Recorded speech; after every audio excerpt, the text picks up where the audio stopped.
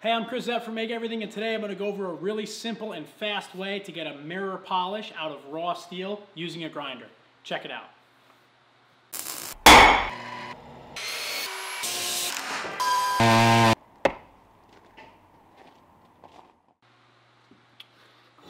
All right, so today we're going to be talking about polishing steel to a mirror polish. And what I want to talk about today is this set from Pferd Abrasives. It is a set of attachments on a kind of a Roloc style, what Pferd calls combi click, um, for your quarter inch die grinder, either an angled die grinder or a straight die grinder.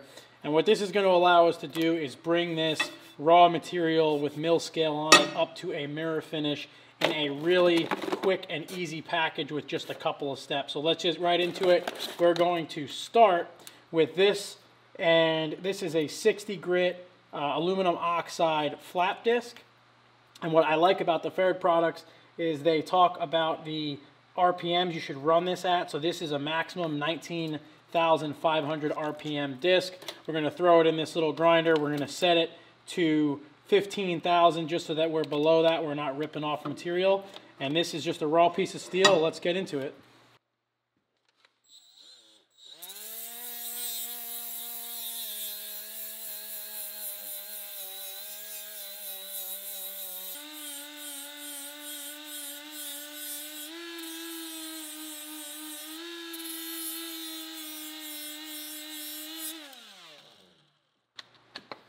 So it's very important to grind past the uh, mill scale. So if, you, if this was a welded piece, you may already have ground past the mill scale. But once we get past the flap disc, what's nice about these is you're not changing out the actual arbor. You're just twisting out the grinding disc itself really fast. And we're going to move up from that over to this red surface conditioning pad, and this all comes in this little kit. So now we'll go back over this with that. This might look like it's a mirror polish, but let me show you, I'll give you a real close-up and you can see how it, it might look mirrored, but there's still a lot of scratch marks in it. That's not gonna fly. We're gonna turn our grinder down to 10,000 RPMs for this step.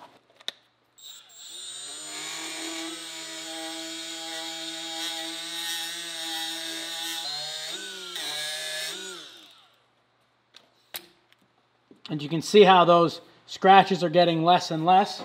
And there's also a lot less grinder marks in it. So we can pull that one off and move up. The next is this special medium hard grinding disc. Now this one is a recommended RPM of 9,500. So we'll set our grinder to 10,000.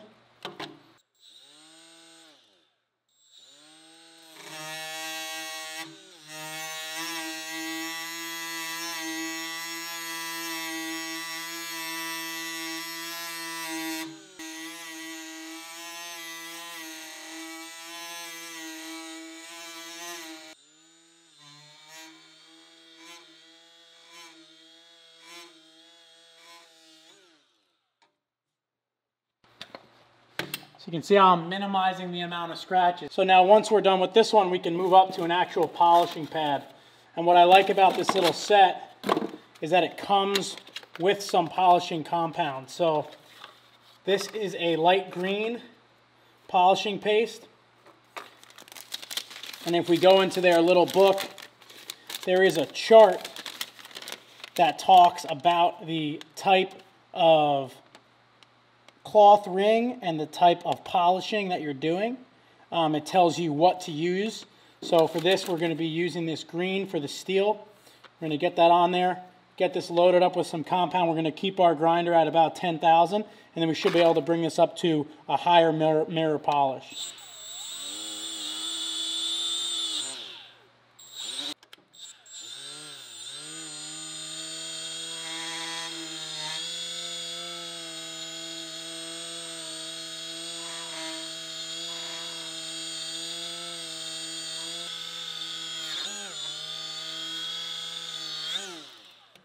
Anytime I'm polishing, I like to keep a microfiber cloth around just because that excess polish uh, and compound will build up.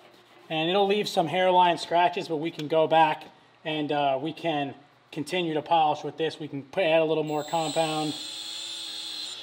We can keep going.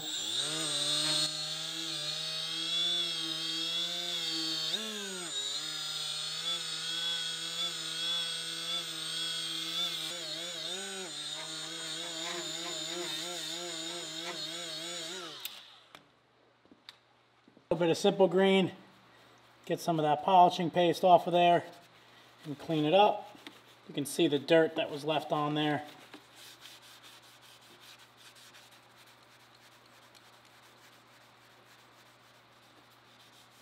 And this is now a nearly perfect mirror polish. You can see the way it reflects directly the piece below it. Now I left some kind of heavy ripples in this when I was grinding it with this.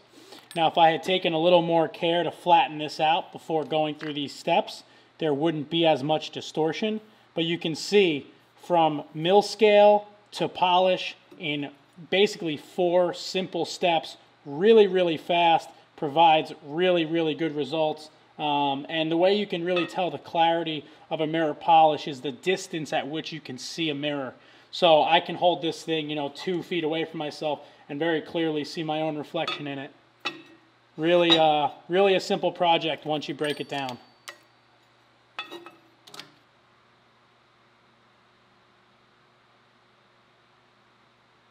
All right, that about does it for this video. Uh, like I said, you could take this a little bit further. You obviously could go at this with uh, wet sandpaper and really sand this thing up through the grits. But if you're looking for a fast and nice polished finish. Um, this system is great. And what I love about this is that you can buy this set and then you sort of have the guidelines as to where to go and how, what to replenish. Um, instead of looking through a huge catalog and saying, oh, maybe if I try this and then that, it'll work. Um, this sort of gives you the parameters right away. Obviously, you're not going to burn through this whole block of polishing compound right away. And all the consumables that I use absolutely are still good to go, um, you know, even though I just did this small piece. So if you're interested in this, check it out. There'll be some links down in the description below. Thank you to Pferd for sponsoring my shop and supporting me here, providing me with really high quality abrasives that you see me use in my other metalworking videos. If you have any questions, leave them down below. I will be happy to answer them. If you have other suggestions on how to polish steel and other metals,